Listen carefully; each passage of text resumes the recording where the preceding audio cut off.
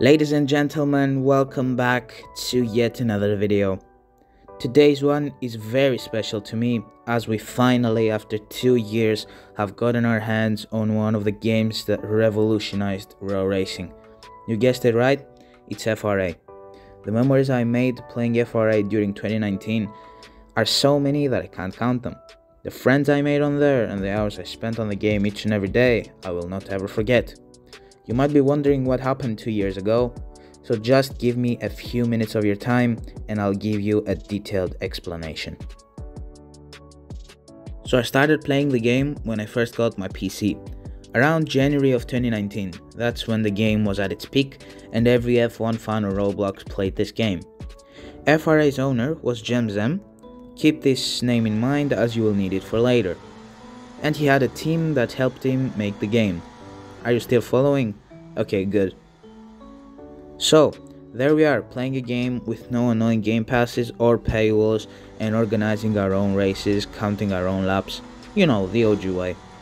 I would go on the game each day to play with my friends and everything was generally going great. It was going so great that the developers started making a new chassis and tracks to update, to update the game.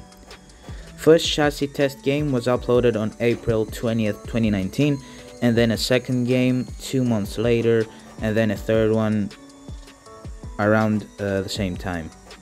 Everyone was hyped and ready to experience this new chassis game when Gemzem deleted his account and quit Roblox.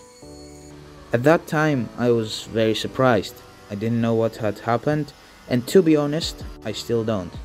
But I have heard a few things here and there that he had problems with his personal life. No idea if that's true or not. If anyone knows, please do let me know in the comments. So Gemzem deleted his account and if I can remember correctly, we were told to check this new game out which was Project Apex. Keep in mind this is early 2020 and we haven't arrived to the present yet. After 3 days, their Discord also shut down and we were left with Project Apex and the game that was doomed.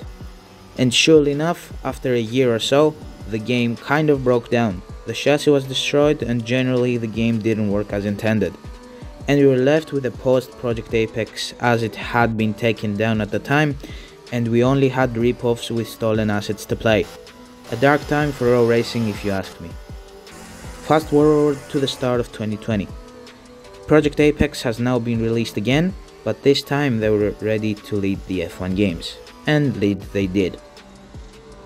Now you might be wondering what happened with FRA.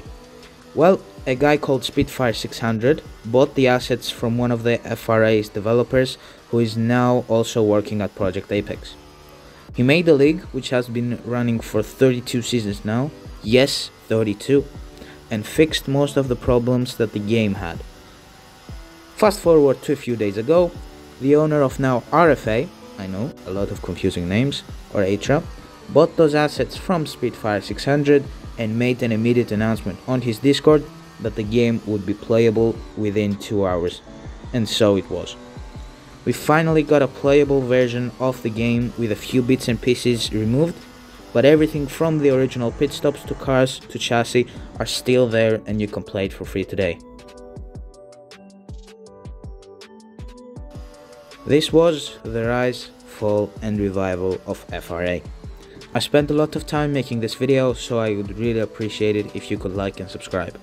I'll include all the links in the description, and it's worth noting that I'll be making a lot more of these videos, so stay tuned.